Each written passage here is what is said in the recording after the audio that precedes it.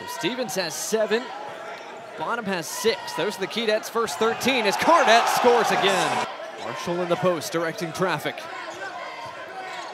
Marshall over the left shoulder, count it, and a foul. A Floater at the rim.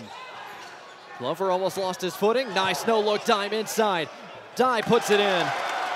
From downtown is Jake Stevens. Keydets' lead is back to four. Maitre off the bounce fires and hits. Glover. Maitre. Oh, yeah. Was Glover. One on one against Cooper Cisco. Really's open. It hits. Glover, a heat check three. Oh, man.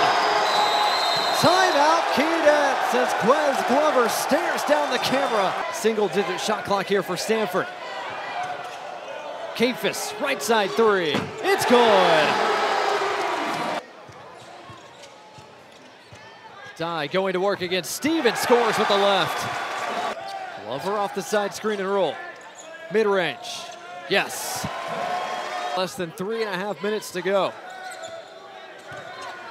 Kaifes trying to answer, and he does. Shot clock at six. Glover, excellent shot fake, and got it to go for the mid-range. We're tied again at 86. Has his own mismatch. Good job by the Keydets to switch it back. Glover spins inside, scores. Oh man, what a move from Glover. He's got 23. Dye against Stevens. Turns, goes up, scores. Glover attacks off the bounce. Glover falling away for the win.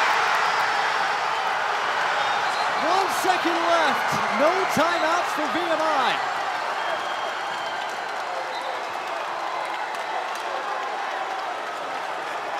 Got to the baseline and hit the fader.